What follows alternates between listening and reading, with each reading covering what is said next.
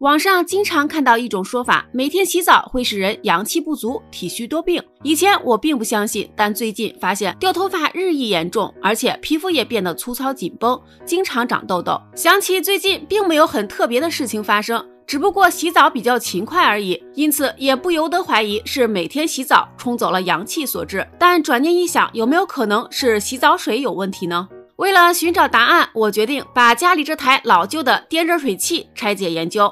虽然它日常操作比较繁琐，但贵在拆解方便，只需长按自爆键，零件就会应声脱落，最后只剩下内胆。这就是单胆圆筒电热水器的核心部件。利用加热管烧水，感温器控温，冷水从底部进入，热水则从顶部流出，边用边上水，热水就不断被顶出来。同时，内胆里还插入镁棒，让它不断腐蚀，失去电子，使内胆和发热管得到电子，通过还原反应来防止生锈。这看似合理，但潜藏了三宗罪。第一是反复加热易产生水垢，沉积在底部死水区就会滋生细菌，导致皮肤冒痘起痤疮。第二是镁棒腐蚀过快，向水中大量释放金属离子，使水质变硬，造成头发毛囊堵塞、掉发脱发。第三是长期不清洗的电热水器，导致水质偏碱性。破坏了身体的弱酸性皮脂膜，使全身肝阳紧绷。看来我出现的症状并不是洗澡冲走了阳气，而是电热水器这三宗罪导致的。为此，我们就自行打造新型电热水器。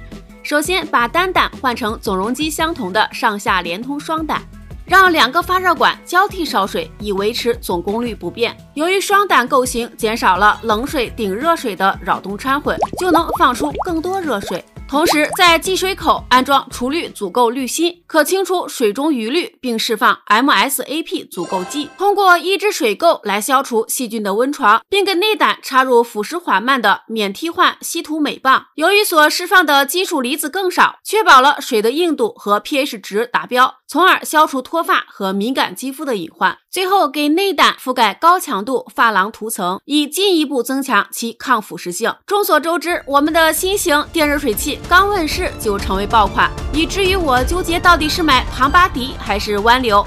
可好景不长，大量用户反映使用一阵子，皮肤还是会过敏冒痘。为了查明原因，我又忍痛按下自爆键，发现内胆底部果然出现些许水垢。经专家品尝，其中带有大肠杆菌和金黄色葡萄球菌的香气。看来水垢难以彻底杜绝，沉淀在底部死水区里，长期不清洗就会滋生细菌。因此，市面上所谓的免洗电热水器，其实只是减缓了水垢沉积和水质恶化的速度而已。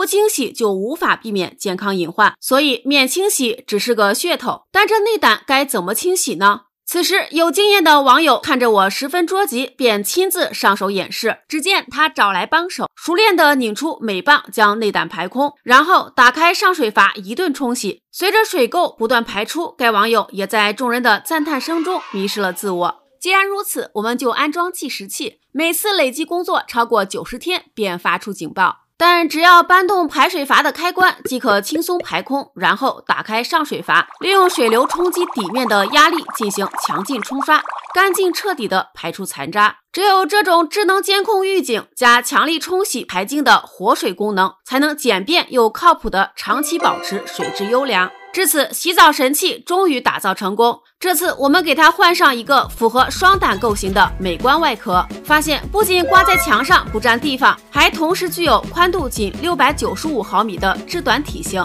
看起来十分顺眼。这就是美的活水 UQ 六，它不仅具有一井二排三冲洗的活水功能，还采用了坚固耐腐蚀的发廊无缝内胆，并独有出水量大于每分钟零点七升自动断电的安全保护。有了这台热水更多、使用更安全、水质更健康的美的活水 UQ 六，妈妈再也不用担心我的阳气被冲走了。